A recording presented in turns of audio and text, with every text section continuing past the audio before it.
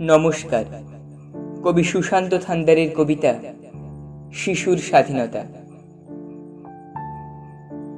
ঘরের বাইরে যেও না, পায়ে ধুলো লেগে যাবে। গাছে চড়তে যেও না, পড়ে যাবে। গাছ থেকে আমটি পড়লে কুড়িয়ে খেও।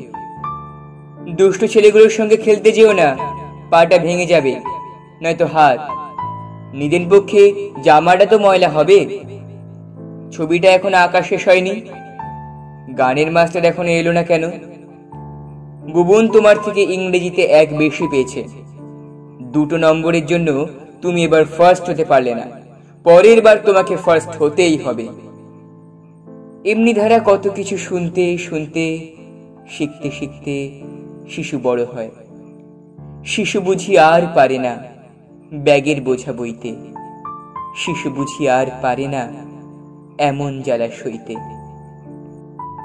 সে এখন ভূগোল পড়ে, ইতিহাস পড়ে, জানতে পারে কত কত দেশ, কত কত পাহাড়, মরুভূমি, কোথাকার কোন ইংরেজ আমাদের দেশটাকে করল শেষ। তা আবার এক বছর নয়, দু বছর নয়, দুশো বছর।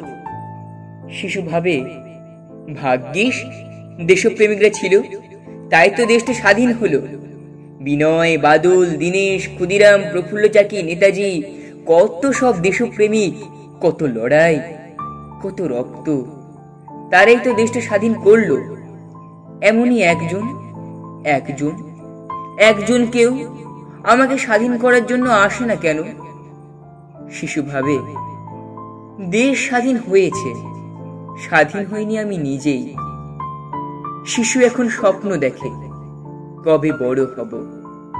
শিশু এখন স্বপ্ন দেখে কবে স্বাধীন হব?